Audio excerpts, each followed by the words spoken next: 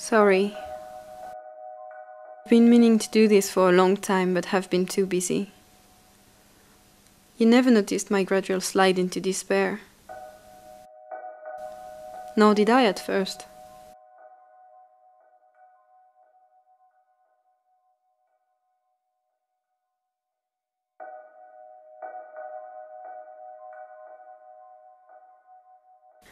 We were both too wrapped up in ourselves, too involved in our jobs. Neither of us are the person the other fell in love with. I look at myself in the mirror and I don't recognize the person looking back at me. I don't know who she is or what she wants anymore. I've become a lost soul, feeling my way through the darkness, bumping into things here and there. You were one of those things I bumped into.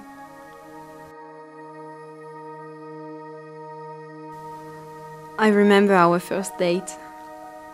It rained heavily, and you used my umbrella to keep me dry.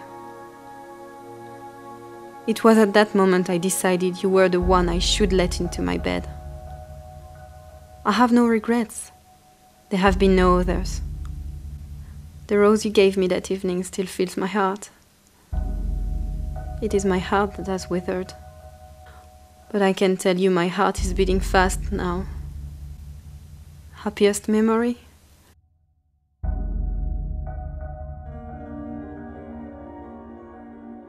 Eating fish and chips on that sandy beach, the sun warming my body, filling me with desire. A feeling of total relaxation, almost an out of body experience. Or maybe it was that time we made love in that heavy shower of warm summer rain in the field of ripening corn. It always rained at the key moments in our life. Thanks for those times, and many others are forgotten.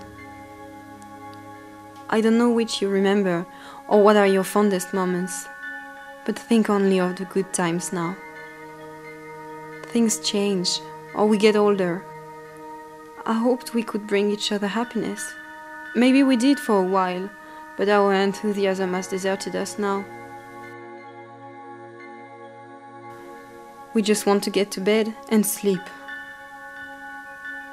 Probably not your fault or mine.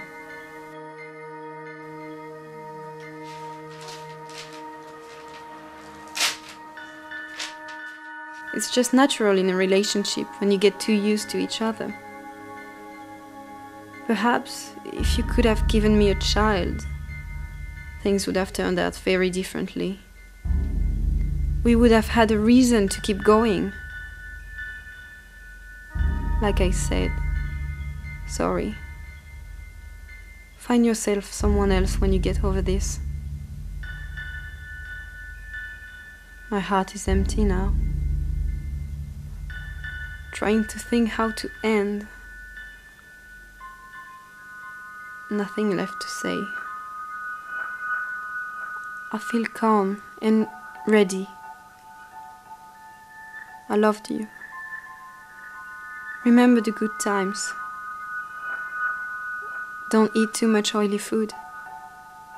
And change the bedding weekly. The washing powder is under the sink. When you find someone else, stay true to your dreams.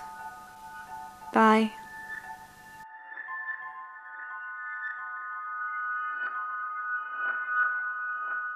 Program D for the washing machine.